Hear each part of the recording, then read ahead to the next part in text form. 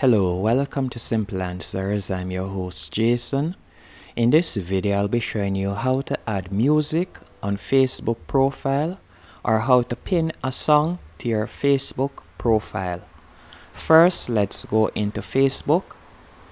Once in the app, you're going to tap on the three dashes in the bottom right hand corner.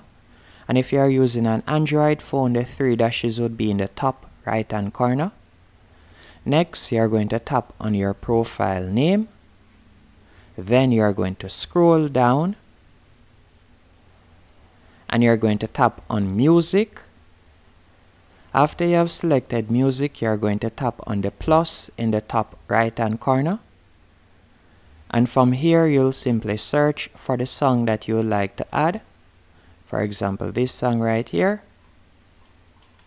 Then after you have ticked the song or songs that you would like to add, you'll simply close out of it.